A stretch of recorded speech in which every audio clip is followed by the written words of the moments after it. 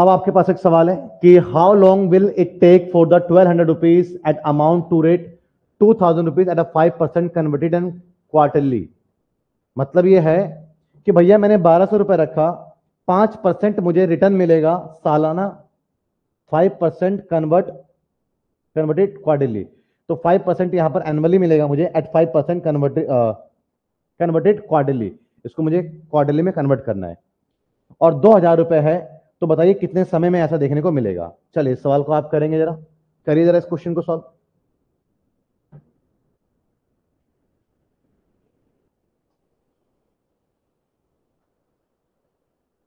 करो।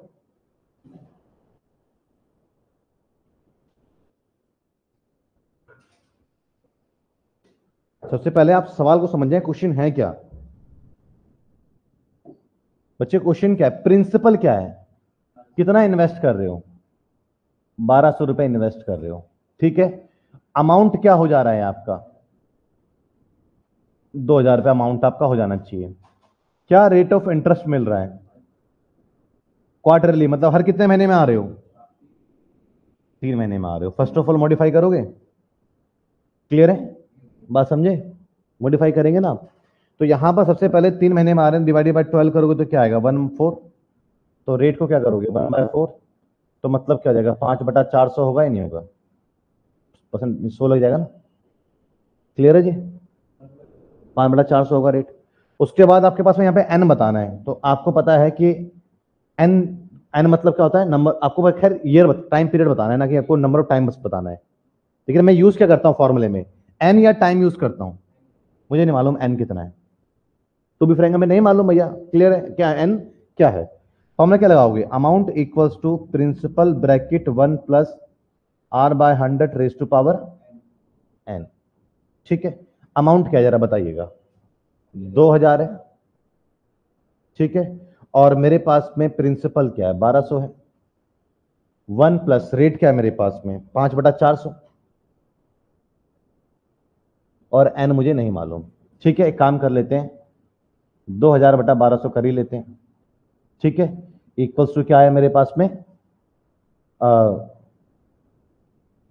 सॉल्व कर लेते, चार सौ पाँच बटा चार सौ रिस्ट पावर एन क्लियर है? सॉल्व करना है सॉल्व भी कर सकते हो आप इसको एक बटा आठ और आपके पास में नौ बटा आठ हो गया ना, कर सकते हैं आप सॉल्व डिवाइड कर लो इसको, है ना?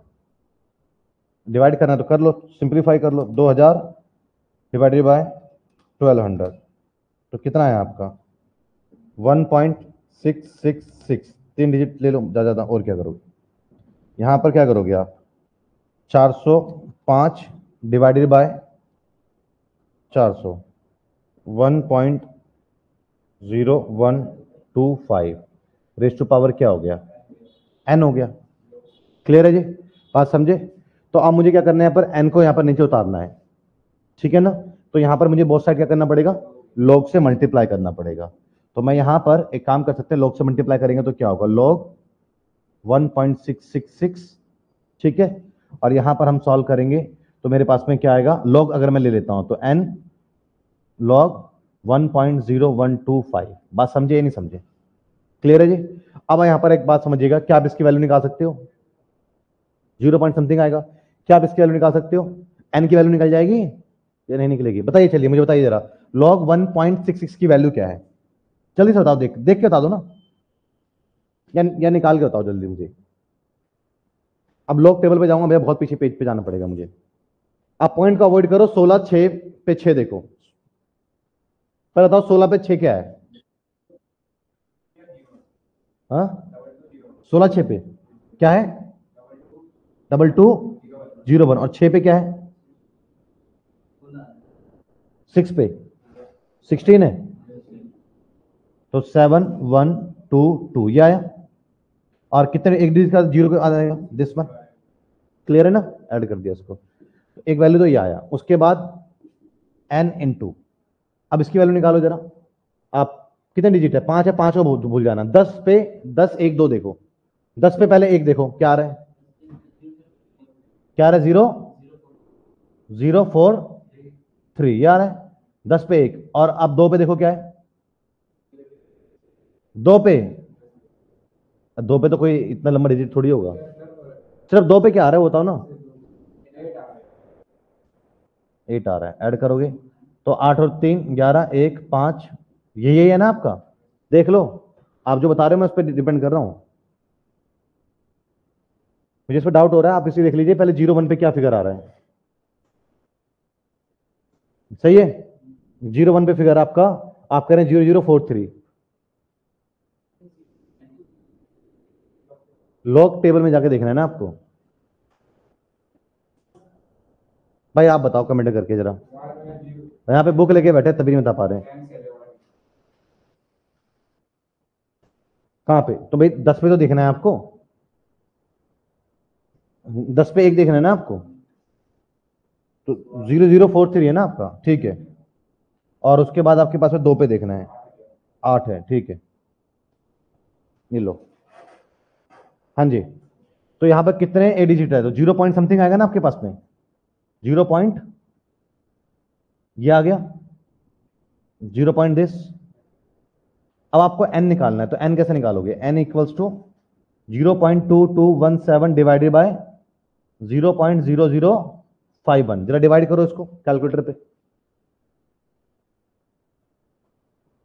Zero point two two one seven divided by zero point zero five one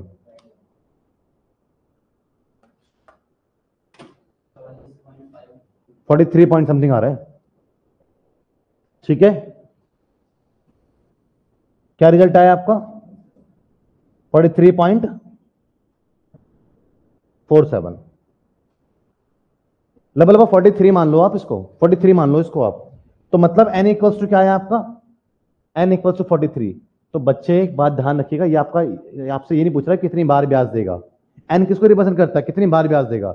आपसे सवाल पूछ रहा है कितने ईयर के लिए पैसा लगाया गया है, ठीक है? तो आप एक बात समझिएगा कि अगर क्वार्टरली दे रहा है तो एक साल में कितनी बार दे रहा है? चार बार दे रहा है। तो मैं चार से डिवाइड करूँगा तो चार चार कितने पेयर बनेंगे, उतने नंबर ऑफ़ ईयर रिप्रेजेंट करेगा। तो हार्डली कितने बना सकते हो? दस। भैया, एक साल में चार बार दे रहा है। तो ये आपसे एन ने पूछ रहा कितनी बार इंटरेस्ट पे करेगा। ये पूछ रहा है कितने साल के लिए पैसा दिया गया है। तो एक साल में चार बार दे रहा है, तिरतालीस बार दिया तो मैक्सिमम दस साल तो हो ही गए। प्लस में और बच गया आपका, कितना बच गया आपका? तीन बटा पॉइंट छोड़ो, तीन बटा दस साल और तीन बटा चार साल और बच गया आपका। ये बचा ना? इसको आप क्या करो, बारह से मल्टीप्लाई कर दो मंथ में आ जाएगा आपके पास में। चार तीन बारह, नौ महीने। तो दस साल, लगभग लगभग आंसर दस साल, नौ महीने। मेरे पास पॉइंट कुछ ऊपर नीचे हो जाता है, कोई ज़्यादा डिजिट के बाद लेते हैं, कोई तीन डिजिट का ले लेता है, उससे एक दो पॉइंट फ़र्क पड़ जाता है बट आपके मार्क्स पे कोई फ़र्क नहीं पड़ेगा इस चीज़ का। क्लियर है जी? तो आप एन निकालने के बाद भी सवाल को सॉल्व करेंगे, बिल्कुल। एग्ज़ाम ओरिएंटेड कंटेंट है, इसको बस पढ़िए एग्ज़ाम में सवाल आएगा, बहुत इजीली कर पाएँगे। मैट्रिक्स जितना तो कैलकुलेशन नहीं है मतलब मैट्रिक्स जितना इतना लेंथी तो है नहीं। तो उम्मीद करता हूँ आज की क्लास आपको समझ में आई होगी। अगली कक्षा कल की क्लास है, कल की क्लासेस हम इन क्वेश्चनों को ज़रूर कवर करेंगे। और कल मैं कंपाउंड इंटरेस्ट को डेफिनेटली फिनिश कर दूँगा अपने टॉपिक नंबर टू को भी। ठीक है जी? भाई, बहुत सारे टॉपिक्स हैं आपके। भाई, बहुत बड़ा सिलेबस है। बता रहा हूँ मैं आपको। इस सिलेबस को इस तरीके से भी नहीं करवाया जाता है। इस सिलेबस की ही फ़ीस जो है मिनिमम इस समय भी जो है अट्ठारह हज़ार, बीस हज़ार रुपए इसकी फ़ीस रहती है। बिज़नेस मैथ्स की फ़ीस ठीक है?